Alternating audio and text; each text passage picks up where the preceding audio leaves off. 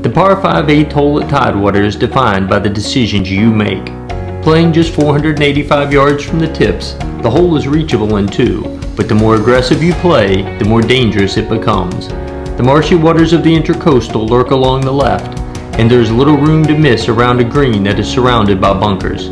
Known as Harbor Watch, number 8 is another beauty, but you better approach this challenge with respect.